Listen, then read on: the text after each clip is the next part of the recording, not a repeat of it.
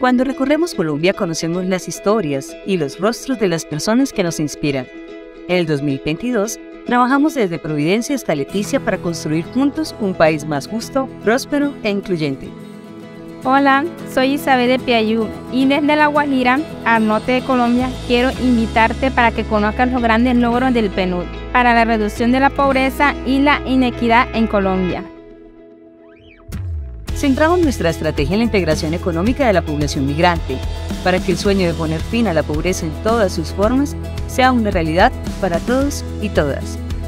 Junto a la Agencia de los Estados Unidos para el Desarrollo Internacional USAID y seis aliados estratégicos en territorio creamos Recorrer, una ruta de inclusión laboral que vincula a 657 personas. 54% de ellas corresponden a población migrante proveniente de Venezuela y colombianos retornados para quienes la entrega de su tarjeta de protección temporal ha sido la puerta de entrada a la integración económica y productiva del país.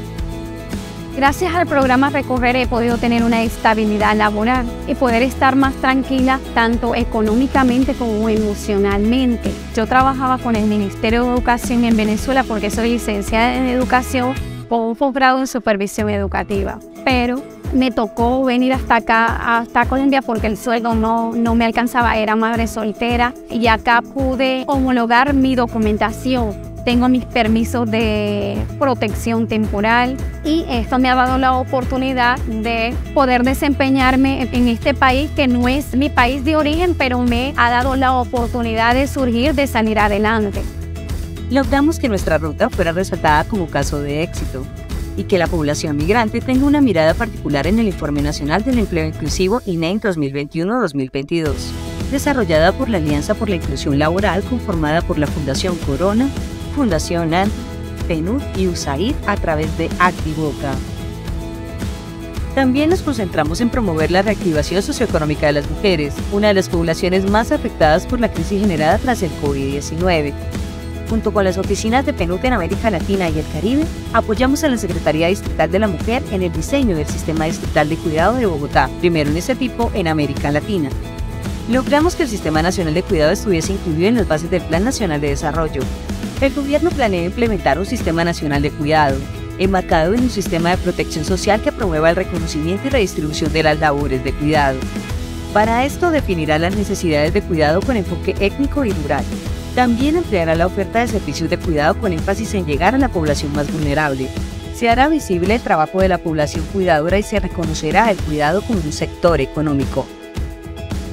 Yo hace año y medio, la verdad, no me imaginaba estar acá porque yo me la pasaba era en la casa. Aquí asisto a rumbaterapia, tengo servicio de psicología, me dieron, por ejemplo, el servicio de lavandería, me dieron el servicio de cuidar al niño mientras yo me estoy capacitando, y aquí nos prestan una ayuda incalculable. La manzana del cuidado de verdad le abre a uno como mujer muchas puertas. Las personas y los territorios nos inspiran y nos conectan. Escuchamos sus voces como ejemplos de transformación y reconocemos sus historias como testimonios de esperanza, porque sabemos que son los esfuerzos colectivos los que son capaces de construir un mundo más sostenible. En el 2023 seguiremos trabajando para no dejar a nadie atrás.